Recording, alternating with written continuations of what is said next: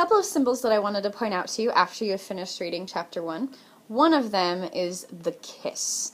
Now, this kiss sits in Mrs. Darling's corner of her mouth right there, and as it's described, um, Mr. Darling, it's talking about the relationship she had with Mr. Darling and how Mr. Darling was able to get every bit of her except for that little kiss that sits in the corner of her mouth. He got all of her except the innermost box and the kiss. He never knew about the box, and in time he gave up trying for the kiss. So this kiss that kind of sits in the corner of her mouth is kind of an awkward, kind of weird symbol, I suppose.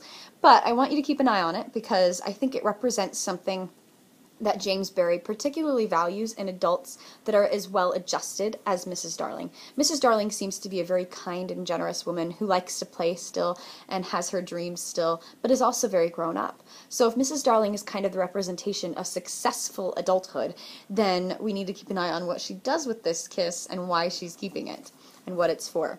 The other thing I wanted to point out that's even more important is the description that the, that the first chapter gives on what Neverland is. Now, just to make it clear, Disney got it wrong. It's not Never Neverland, it's just Neverland. So, as the book describes it, this is what Neverland looks like. They say that it's a map of a child's mind, which I think is particularly interesting because then it shows us how Neverland is created by the minds of the people who want to go there and how that then reflects what their wants and desires and needs are as a character. And you'll see that in just a little bit.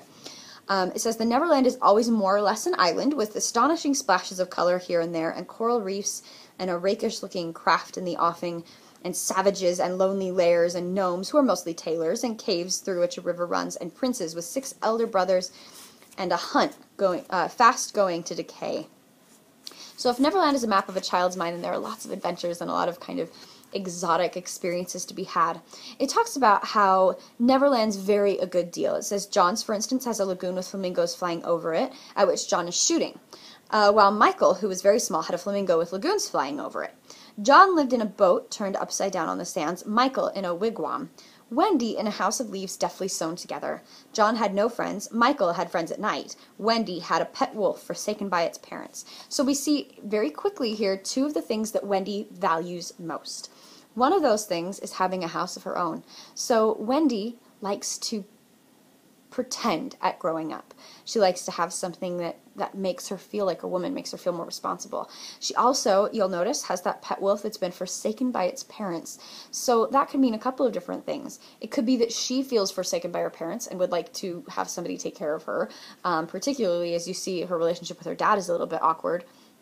Or it could just be that Wendy values taking care of something that needs her, and you see that in her relationship with Peter. So, Wendy's Neverland is definitely kind of a projection of the things that she values most, the things that she likes, the things that she's afraid of, and the things that she is that, she kind of that she holds most close.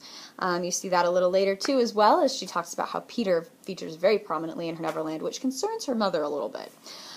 All right, I think that's everything I had for you, except for you to keep an eye on how Wendy's idea of Neverland and the things that she wants shows up in her actual experience in Neverland because they come very close.